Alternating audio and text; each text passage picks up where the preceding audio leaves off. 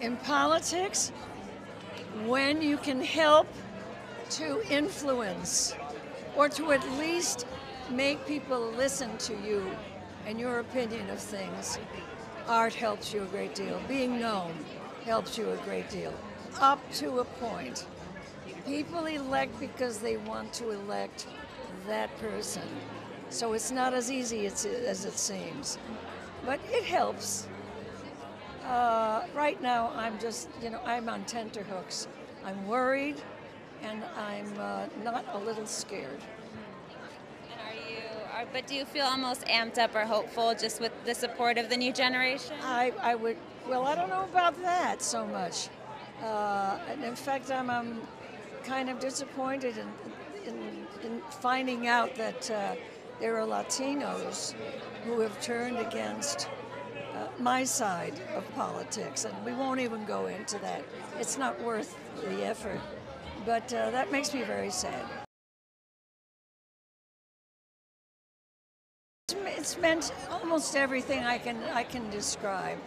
It, it's it's an honor to have been part of it twice.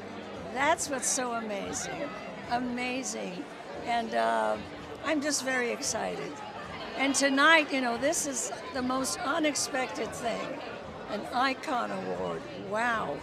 Along with Quentin Tarantino and Paul. Mescal.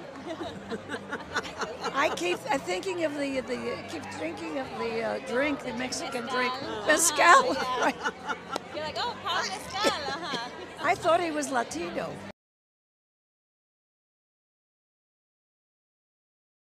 Interesting. I actually think it might change the way people watch TV or see both shows for the better. It was. I had a wonderful storyline with Charlie that I really just appreciated so much, and uh, who knows what might come out of the two of all of us coming together like this. Okay, a continuing of the crossover. Yeah, there, it could be just that.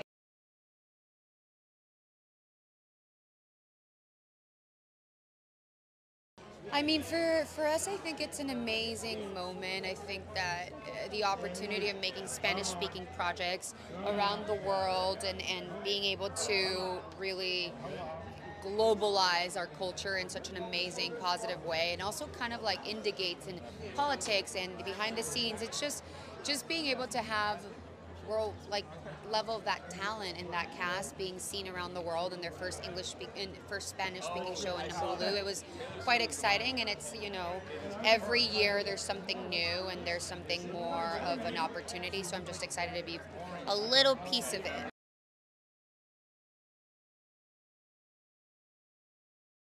I've done three films with Todd Haynes, who is an absolute master. And watching him work, seeing his process in pre-production, how he how he develops the look of a film and the feeling of a film, his sort of instinct matched with preparation is really astonishing to me and it's been a real privilege to watch him work. And having just worked with Jason Reitman on Saturday night, this is a man I would love to work with again and again. Uh, he's incredibly intelligent, incredibly thorough, really intentional, but also has like a, really buoyant joy that was fun to be around. And he said yes to so many ideas that I had when I came in.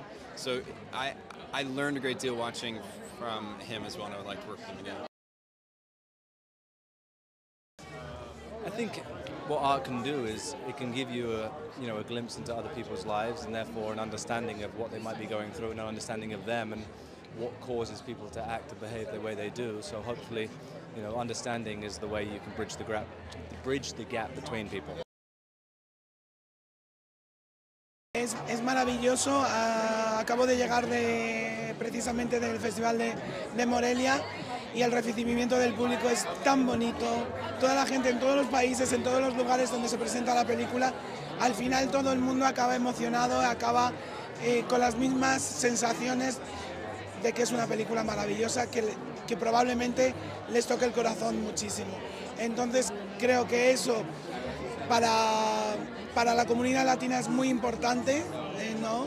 porque a veces también nos maltratan de vez en cuando muchísimo y, y, obviamente para la minoría a la que represento más obviamente pues es también muy importante. Creo que represento ahora mismo a muchísimas personas que se sienten identificadas conmigo y que y es muy bonito porque siento una responsabilidad especial con toda la gente que, que desea ser libre, que desea vivir en paz. Y bueno, y ahora estamos en este evento tan maravilloso, ¿no? Que, que es el arte puro.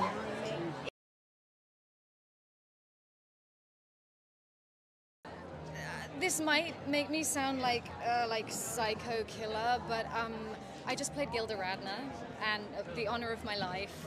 And her hair is so iconic, and I wore this amazing, massive, curly wig for the project, and I didn't get to keep the wig, but we cut a bunch of hair out of it for it to be the right balance, and I I kept I kept the extra hair, and I gave my castmates little um, like old school like twirls of my hair, but I kept some and I have just one with a little bow on it at home.